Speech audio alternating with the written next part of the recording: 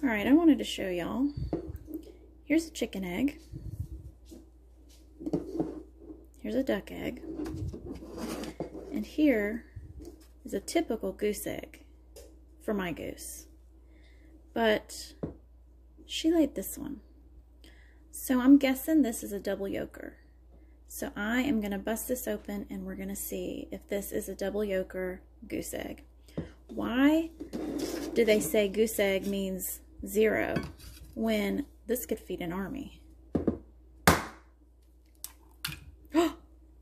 I was right.